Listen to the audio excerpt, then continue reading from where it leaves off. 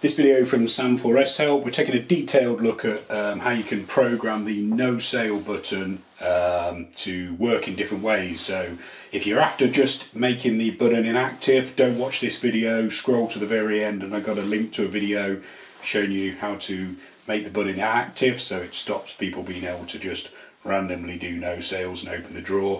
What I'm going to try and do in this video is at, the end of the video I'll show you how to make it only work in the X mode. So obviously the problem with the button at the moment in the default operation you can just be in the register mode press the no sale button here and then the cash drawer fires open so you've got um, access to the drawer and obviously the money inside without processing a sales transaction um, but you can set the button to be inactive which I've done in a very short video, which as I say, there's a link to at the end of this video, but you can also make the button only work in the X mode. So obviously the theory behind that is that the manager has the X key and the operators or cashiers only have the reg mode, so only a manager can do a no sale. So that's what I'm going to show you how to do in this video. But I'm also going to try and demystify the manual a bit. So we get a lot of messages and emails from people saying the manual makes no sense.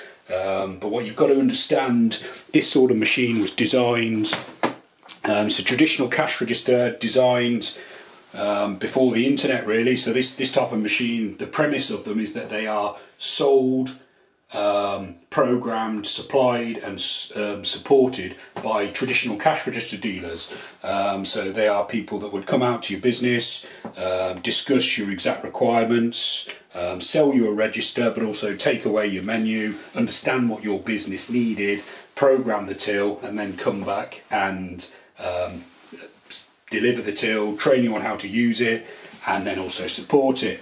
So the, the manual, the only manual that's supplied with this sort of machine is written for that type of uh, the trade, the cash register dealer themselves. So obviously what's happened now is the internet's come along and skewed that a bit. So we've got people um, selling these registers online, um, people getting them second hand from auction sites, that sort of thing. And then if you're using this quite complicated piece of kit and then trying to program it. Some of the little nuances are lost. Um, you've got to understand the manual is not written for end users. Um, you could argue the toss as to whether it should or shouldn't be, but the fact of the matter is it isn't. So if we take a look at this manual, so this is actually so this is actually for an older machine, it's for a 5200 machine, but the programming protocols on SAM4S machines haven't changed in that long. So the programming protocol here for the no sale button for a 5200 is exactly the same it is on the 900.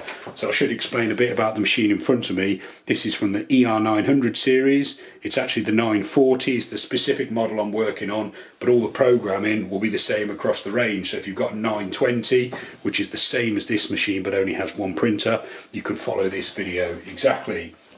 So what the manual's trying to tell you is in the program mode, you can program the no sale button to work in different ways. So at the end of the video, I'm going to type in 70 subtotal, punch in some numbers, press the no sale button, and then also press the cash button. But I just want you to understand I haven't just grabbed those numbers out of the ether or know them. I've had to look them up and work it out um, using the chart in the manual. So 70 subtotal, N1, N2, N3, N4. N1 to 4 are all worked out from this chart here. So no sale is inactive um, because we want the button to work, but work only in the X mode, we want the button to be active. So that value would be 0. No sale active in X control position only.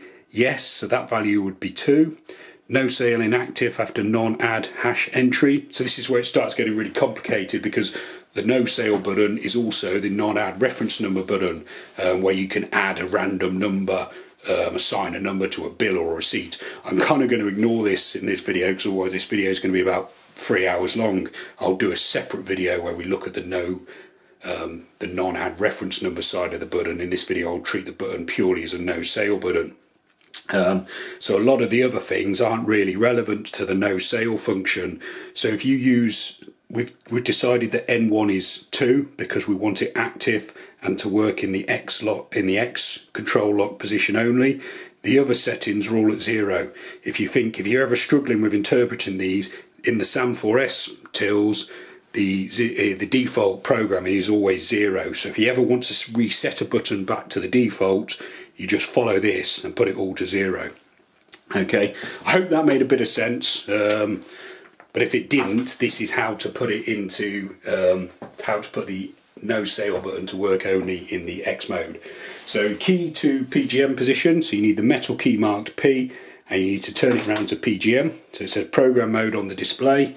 We then follow the flow chart, so it's 70 subtotal.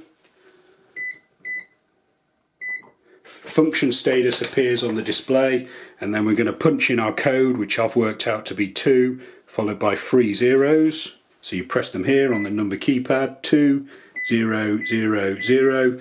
Then you press the button that we're programming, so the hash NS button. Mine's marked as no sale. And then you press the cash button to finish. You get a little printout confirming what you've done. So it says no sale and then the new status you've put into the button. That's all you're doing is changing the status of the button. So now if you turn the key back to reg and press no sale, you get warning X mode only. So you can clear that. And if you've got access to the X key, X mode key, you turn it to manager mode, or X mode and manager mode's displayed on the screen. And then you press no sale and the drawer opens. If you want to reset the button, as I said, so you don't, you've misprogrammed it or you decide you just want to put it back to default, it's 70 subtotal in the program mode, one, two, three, four zeros, the no sale button, and then cash. If you test that in the reg mode, you'll then go no sale and it works as fine. Um, and then I'll have a video appearing on screen now showing you how to totally deactivate it. But I just want to put mine back into um, working in X mode only. So P mode, 70 subtotal, 2, 3 zeros, the button, the cash, back to reg, and then it says warning X mode only. Okay, I hope that video's um, been helpful and wasn't too um, full of cash register jargon. Uh, we've got plenty of other videos appearing on screen now, including the one showing you how to make the button inactive, so that's where it doesn't work at all, regardless what mode you're in. So you can check that out. Check out all our other videos appearing on screen now, and you can also subscribe to this YouTube channel and visit sam4shelp.co.uk for more. Thanks for watching.